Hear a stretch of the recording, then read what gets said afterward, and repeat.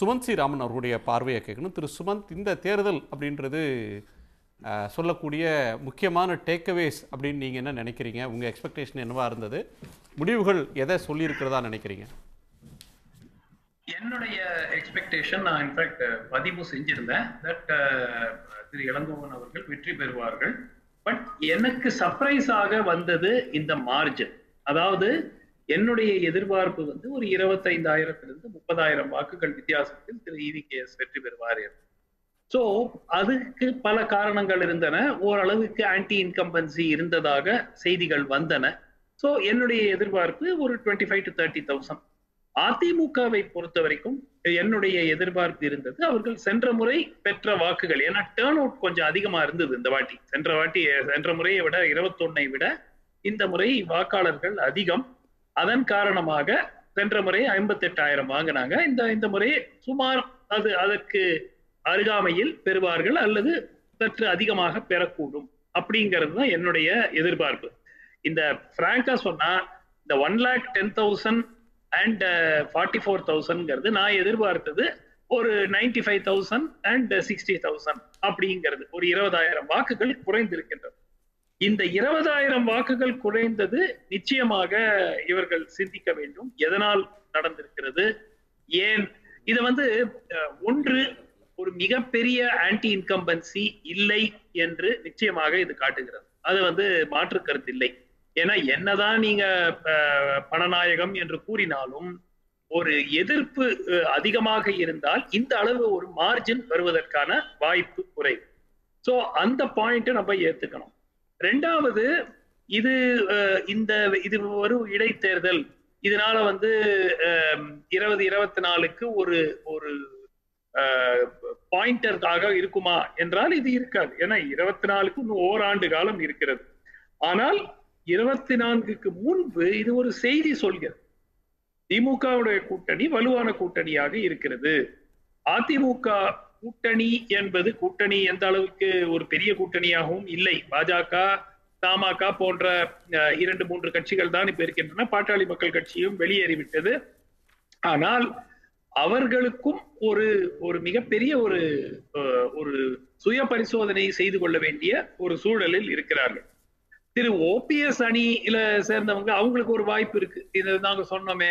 அப்படிங்க சொ- சொல்லி காட்டுவதற்கு ஒரு வாய்ப்பு இருக்கிறதே தவிர அவர்கள் ஒருவேளை ஒரு போட்டி வேட்பாளரை நிறுத்தி அவருக்கு ஒரு இருபதாயிரம் வாக்குகள் வந்திருந்தால் அவர்கள் சொல்வதில் ஒரு அர்த்தம் இருக்கும். போட்டியே போடாம நான் இந்த வேட்பாளரை இவங்க ஆதரிச்சாங்களா ஆதரிக்கலையா அந்த முடிவு கூட அவங்க எடுக்க முடியாது. நாங்க ஆதரிச்சும் இவ்வளவுதான் வாங்கினாருன்னா அது அவங்களுக்கும் சேர்த்துதான். அது வந்து ஒரு ஒரு இழுக்கா இருக்கும். நாங்க எதிர்த்தோம். நாங்க வந்து எங்க எங்க ஆளுங்களெல்லாம் வந்து அந்த கேண்டிடேட் போடாதீங்கன்னு சொன்னோம். அப்படின்னு சொல்லவும் சோ ரெண்டு வழியிலையும் அவர்களுக்கு ஒரு தர்ம சங்கடமான ஒரு சூழல். என்ன எடப்பாடி அவர்களுக்கு செல்வாக்கு குறைந்து விட்டது அப்படிங்கிற அடிப்படையில போகலாமே தவிர ஆனால் நிச்சயமாக இது வெறும் பணத்தினால் பெறப்பட்ட வெற்றியாக நான் பார்க்கவில்லை. அது ஒரு இருபதாயிரம் பதினைந்தாயிரம்னா நீங்க இந்த வெறும் பணம் விளையாடிடுச்சு பணம் விளையாடிடுச்சுன்னு எதிர்க்கட்சிகள் சொல்லுவாங்க. அதில் ஓரளவுக்கு ஒரு ஒரு எலிமெண்ட் ஆஃப் ட்ரூத் இருக்கும். பட் அறுபத்தாறாயிரம் வாக்குகள் வித்தியாசம் முழுமையாக அது பணத்தினால் வந்த வெற்றி என்று நான் எடுத்துக்கொள்ள மாட்டேன். அது எதிர்க்கட்சிகள் அவ்வாறு எடுத்துக்கொண்டால் தங்களையே ஏமாத்தி கொண்டிருக்கிறார்? திரு சுமந்த் நீங்கள் சொன்னதில் சில முக்கியமான புள்ளிகள் இருக்குது ஒன்று பெரிய அளவிலான ஆன்டி இன்கம்பன்சி இல்லை அப்படின்னு சொல்கிறீங்க அது காங்கிரஸ் கட்சிக்கு இந்தியா முழுக்க தேடினாலும் திமுக மாதிரி ஒரு அலையன்ஸ் பார்ட்டி கிடைக்குமா? காங்கிரஸ் வேட்பாளரை நிறுத்தி எல்லா அமைச்சர்களும் களத்தில் இருந்து இவ்வளவு பாடுபட்டு வெற்றியை தேடி தரக்கூடிய நிலைமை இருக்குமான்றது ஒரு சிந்திக்க வேண்டிய ஒரு கேள்வி. நீங்கள் சொன்னதில் இன்னொரு முக்கியமான அம்சம் வந்து இந்த தேர்தல் வெற்றி வரக்கூடிய ஒரு நாளில் வந்து எப்படி அந்த வேட்பாளர் ஜெயிச்சாரு? எது அந்த வெற்றிக்கு காரணமாக இருந்தது? ஆட்சி திமுக ஆட்சி அமைந்து நடக்கக்கூடிய மிக முக்கியமான ஒரு தேர்தல் முதல் இடைத்தேர்தல். இன்னொன்று எடப்பாடி பழனிசாமி அவர்களுக்கோ அதிமுகவுக்கு ட்ரெடிஷ்னல் ஸ்ட்ராங் ஹோல்டுன்னு சொல்கிற ஈரோடு வெஸ்டர்ன் டிஸ்ட்ரிக்ஸில் நடக்கிற ஒரு முதல் இடைத்தேர்தல். ஸோ இது எப்படிப்பட்ட ஒன்றை தரும்? திமுக ஆட்சிக்கு முதலமைச்சர் மு ஸ்டாலின் அவருடைய ஆட்சிக்கு எப்படிப்பட்ட ஒரு அப்ரூவலை தரப்போகுது? முதலமைச்சருடைய செல்வாக்கு அப்படின்றது தேஞ்சிருக்கா வளர்ந்திருக்கா அல்லது அப்படியே இருக்கா? இப்படின்னு பார்க்குறதுக்கான பல காரணிகள் இதில் இருந்தது. ஆனால் இந்த அதிமுக சுயேட்சை சின்னத்தில் போட்டியிருந்தா கூட அவங்க வந்து வேற ஒரு காரணத்தை சொல்லியிருக்கலாம். எங்கள் கட்சி பிளவுபட்டது சுயேட்சை சின்னம்ன்றதுனால ஒரு செட்பேக் அப்படின்னு சொல்லலாம். இரட்டை இலைன்ற மந்திர சின்னம் அவங்களுக்கு வழங்கப்பட்டு கட்சிக்கும் எடப்பாடி தான் தலைவர் அப்படின்னு தேர்தலுக்கு ரெண்டு நாள் முன்னாடி சுப்ரீம் கோர்ட் டிக்ளேர் பண்ணது எல்லாமே ஒரு பெரிய ஒரு மொரேல் பூஸ்டர் மாதிரி இருந்தது. அப்படி இருந்தும் சரிவு வர்றதுக்கு என்ன காரணன்றது ஒன்று இப்போ இன்னொரு ஒரு தர்க்கத்துக்காக கேட்குறேன் இடைத்தேர்தல் முடிவு வந்து பொது தேர்தலில் எதிரொலிக்காது அப்படின்றதுக்கு நிறைய உதாரணங்கள் இருக்குது ஆனால் அது வந்து எல்லாரும் அண்டர்லைன் பண்ணுறாங்க ஒருவேளை இவிகேஎஸ் செட்பேக் சந்திச்சிருந்தாலோ நூலிலையில் ஒரு நூறு ஓட்டு வித்தியாசத்தில் ஜெயிச்சிருந்தாரோ என்ன சொல்லியிருப்பாங்க? கவர்மெண்ட் அன்பாப்புலர் ஆகிடுச்சு அடுத்த நாடாளுமன்ற தேர்தலில் இந்த வீழ்ச்சி வந்து இதை விட அதிகமாக இருக்கும் அப்படின்ற வாதத்தை முன்வைப்பாங்களே. ஏன் ஜெயிக்கும் போது மட்டும் இந்த வாதத்தை முன்வைக்கிறாங்கன்னு எனக்குள்ள ஒரு சந்தேகம். இல்ல எப்பவுமே யார் தோல்வி அடைகிறார்களோ இப்ப உதாரணத்துக்கு திரு இவிகேஎஸ் ரெண்டாயிரம் ஓட்டு வித்தியாசத்துல ஜெயிச்சாருன்னு வச்சுக்கோங்க. நிச்சயமா ஒரு ஒரு பேச்சு வரும் இல்லையா?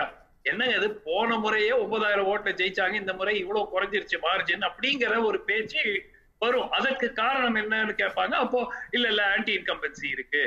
அரசு மீது அதிருப்தி இருக்கு. அப்படின்னு சொல்றதுல ஒரு அதனால் இந்த இந்த அதிருப்தியோ திருப்தியோ எப்படியாக இருந்தாலும் ஓராண்டு காலத்துக்கு நீடிக்குமா என்பது யாராலையும் நம்ம எவ்வளவு கேஸ்னா classical example two thousand eighteen Rajasthan Madhya Pradesh Chhattisgarh பொது தேர்தலுக்கு ஆறு மாதத்திற்கு முன்பு நடை ஐந்து மாதங்களுக்கு ஆறு மாதங்களுக்கு முன்பு நடைபெற்ற ஒரு தேர்தல். மூன்று மாநிலங்களிலும் காங்கிரஸ் பெரும் நீங்க மகாராஷ்டிரா பீகார் எல்லாத்தையுமே வச்சுக்கலாம். உத்தரப்பிரதேசம் கர்நாடகா வரலையும் வந்தது. அது வந்து அந்த. பார்லிமெண்டரி எலெக்ஷன் வந்து கம்ப்ளீட்டா புல்வாமா இம்பாக்ட் மற்ற தாக்கம் அதுல இருந்துச்சு. அது வந்து முழுக்க முழுக்க ஒரு நேஷனலிசம் அப்படின்ற ஒரு விஷயத்துல நடந்த ஒரு நரேட்டிவ்ல நடந்த ஒரு அதாவது தென் மாநிலங்கள் எல்லாம் வெறும் பெரிய அப்படியே புல்வாமா தாக்குதலினுடைய இல்ல கர்நாடகா வரலையும் அதோட தாக்கம் இருந்துச்சு இல்ல கர்நாடகா வரலையும் இருந்தது. கர்நாடக இல்ல இல்ல கர்நாடகால எல்லாம் இப்போ இன்னைக்கு ஒரு சிம்பிள் எக்ஸாம்பிள் குணா ஒரு மார்க் ஒரு ஏஜென்சி வந்து சமீபத்துல கர்நாடகால அவங்க ஒரு போல் பண்றாங்க.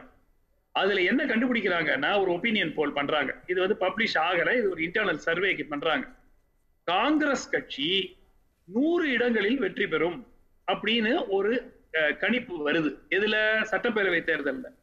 அதே சர்வேல அதே நாள்ல கேட்கிற அடுத்த கேள்வி இருபத்தி நாலுல நீங்க யாருக்கு ஓட்டு போடுவீங்க? அதுல கிட்டத்தட்ட இருபதுல இருந்து இருபத்தி ரெண்டு தொகுதியில பாஜக ஜெயிக்கும் சேம் ஓட்டர் அசம்பிளிக்கு எனக்கு இந்த லோக்கல் பிஜேபி லீடர்ஸ் எனக்கு வேண்டாம். நான் வந்து அஞ்சு வருஷம் அவங்க ஆட்சி சரியில்லை அவங்கள நான் மாத்தணும் அப்படின்னு நினைச்சுக்கிட்டு காங்கிரஸுக்கு ஓட்டு போட தயாரா இருக்கிறாங்க. ஆனா இருபத்தி நாலுல நான் திருப்பி பிஜேபிக்கு தான் போடுவேன். ஸோ நம்ம வந்து இன்னமும் கொஞ்சம் நாளைக்கு வந்து இந்த இரட்டை தலைமை ஒற்றை தலைமை இபிஎஸ் ஓபிஎஸ்க்கு வந்து எண்ட் கார்டு போட்டாங்க சுப்ரீம் கோர்ட்டு அப்படின்னு நினைச்சோம். ஈரோடு எலெக்ஷன் வந்து இந்த முடிவுகள் வந்து இந்த எண்ட் கார்டு இல்ல. என்னை பொறுத்த வரைக்கும் திரு ஓபிஎஸ் வந்து ஒரு இந்த இடைத்தேர்தல் பின்னடைவால் ஓபிஎஸ் வந்து மீண்டும் புத்துணர்வு பெற்று திரு எடப்பாடிக்கு ஒரு பெரிய சேலஞ்சரா வருவாரு என்று நான் ஒரு பொழுதும் எதிர்பார்க்கவில்லை. அது வேறு. இடைத்தேர்தல்ல இந்த இடைத்தேர்தல் தொடங்கின நாள்ல இருந்து எடப்பாடி ஒரு ராஜதந்திரத்தை வெளிப்படுத்தினாரு. பயங்கர ஸ்ட்ராட்டஜிக்கா மூவ் பண்ணாரு. தானே போட்டியிடணும்னு ரிஸ்க் எடுத்தாரு. இரட்டை இலைய தன் வயப்படுத்தணும்னு நினைச்சாரு. கட்சியை தன் வயப்படுத்துவதற்கு ஒரு இதா நினைச்சாரு. எதிர்க்கட்சி நான் தான் ப்ரூவ் பண்ண நினைச்சாரு. அண்ணாமலையை மார்ஜினலைஸ் பண்ணாரு. ஓபிஎஸ்ஸை மார்ஜினலைஸ் பண்ணாரு. எட இரட்டை இலையை வந்து தனக்கு வசமாக்குனாருன்னு அவருடைய ஆகுருதிகள் அவருடைய மதிநுட்பத்தை வந்து பலரும் வியந்து சொல்லிட்டு இருந்தாங்க. இவ்வளவு வாங்கின அவரால் இவ்வளவு டாக்டிக்கலாக மூவ் பண்ண அவரால் ஓட்டு வாங்க முடியல. இரட்டையில இருந்தும் ஈரோட்டில் ஓட்டு வாங்கல அப்படின்றது வந்து ஏடிஎம்கே தொண்டர்கள் அதை எப்படி பார்ப்பாங்க? ஏடிஎம்கேவோட அலையன்ஸ்ல இருக்கிறவங்க எப்படி பார்ப்பாங்க அதை? நான் முழுமையா ஓட்டே வாங்க முடியல என்று சொல்லவில்லை. ஒரு பதினைந்துல இருந்து இருபதாயிரம் வாக்குகள் குறைந்திருக்கின்றன. பதினைந்தாயிரம் பதினைந்தாயிரம் இதுலயே வந்து வென்ற முறை தானே வந்திருக்கு சுமந்த். இருபத்தி அஞ்சு பர்சன்ட் கூட வரல. இருபத்தி நாலு. சதவீதம் தான் அவரால் போல் பண்ண முடிஞ்சிருக்கு. ஏடிஎம்கே உடைய ட்ரெடிஷனல் ஸ்ட்ராங் ஹோல்ட்ல நிலைமை? இல்ல இப்போ இப்ப நம்ம உதாரணத்துக்கு நம்ம பல்வேறு இடைத்தேர்தல் ஹிஸ்டரியில போனோம்னா மிகவும் மோசமாக பெண்ணாகரத்துல அதிமுக டெபாசிட் இழந்தது. ஆர்கே நகர்ல திமுக டெபாசிட் இழந்தது இதெல்லாம் நீங்க பார்த்து எவ்வளவு சதவிகித வாக்குகள் வாங்குனாங்கன்னா இருபது சதவீத சரி ஒரு ஒரு வாதத்துக்கே சொல்றேன். இல்ல ஒரே நிமிஷம் ஒரு ஒரு நிமிஷம். பெண்ணாகரத்துல பாமக தான் முதல் கட்சி. இன்னைக்கு தேர்தல் வச்சாலும் பாமக தான் அங்கே முதல்ல வரும். திமுகவும் அதிமுகவும் ரெண்டாவது மூணாவது கட்சிகள் தான். ஆர்கே நகர் ட்ரெடிஷ்னலாக அதிமுகவுக்கு வலிமையாக இருக்கிற இடம். ஆனா ஈரோடு வந்து ஈரோடு வந்து- திமுக டெபாசிட் போகும் என்று யாருமே வந்து திமுகவை மாட்டாங்க. ஈரோடு வந்து அப்படியான ஒரு அப்படியான ஒரு. ஒரு அப்படியான ஒரு கான்டெக்ட்ல வைக்கிற தொகுதியா ஈரோடு? இல்ல இல்ல கிடையாது. தொண்டர்கள்ட்ட என்ன தரும்னு இது இது வந்து திரு எடப்பாடி பழனிசாமிக்கு ஒரு பின்னடைவு. அவர் கேம்பிள் பண்ணாரு. அழகா சேஃபா இந்த சீட்டை டிஎம்சி கிட்ட கொடுத்துட்டு யுவராஜ் போன்ற யாராவது ஒரு வேட்பாளர் நிக்க வச்சுட்டு அவர் அறுபதாயிரம் இல்ல தொண்ணூறாயிரம் வாக்குகள் வித்தியாசத்துல தோல்வி அடைந்தால் கூட அது அதிமுகவுக்கு பெரிய டேமேஜை ஏற்படுத்தி இருக்காது. எடப்பாடி ஓரளவுக்கு தைரியமாக ஒரு கேம்பிள் பண்ணாரு. அந்த கேம்பிள் ஒர்க் அவுட் ஆகவில்லை. அது உண்மை. இல்ல நாள் எதிர்பார்த்த அளவுக்கு அஞ்சு நாள் பிரச்சாரம் இரட்டை இலை. சொந்த ஊரு இதெல்லாம் வந்து அதிமுகவுக்கு உள்ள என்ன தாக்கத்தை ஏற்படுத்தும்ன்ற உங்க புரிதலை கேட்கிறேன். நிச்சயமா நிச்சயமா ஒரு கவலை ஏற்படுத்தும். தொண்டர்களிடையே கவலை ஏற்படுத்தும். திரு எடப்பாடியுடன் கூட இருக்கக்கூடிய மற்ற தலைவர்களிடையேவும் ஒரு கவலை ஏற்படுத்தும். ஒரு பிரஷர் இருக்கும். நாளைக்கு ஒருவேளை திரு ஓபிஎஸ் ஆர் ஓபிஎஸ் ஆதரவாளர்கள் திரு எடப்பாடி அவர்களுடைய தலைமையை ஏற்று அதிமுகவில் செயல்படுவேன் என்று ஒரு அறிவிப்பு வந்தால் ஏங்க திருப்பி எடுத்துக்கலாமே அப்படிங்கிற அந்த அழுத்தம் மற்ற தலைவர்கள் எடப்பாடி மேல் கொடுப்பதற்கு வாய்ப்பு நிச்சயமாக இருக்கிறது. உடனுக்குடன் செய்திகளை தெரிந்து கொள்ள சன் நியூஸ் பெல் ஐகானை கிளிக் பண்ணுங்க.